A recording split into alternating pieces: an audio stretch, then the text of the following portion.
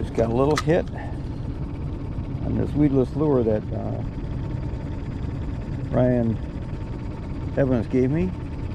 Fishing about two foot of water by the reeds on Big Hudson, and little bass just hit it, and he's just coming. He's been in the weeds for about a minute, so we just got him in. There he is.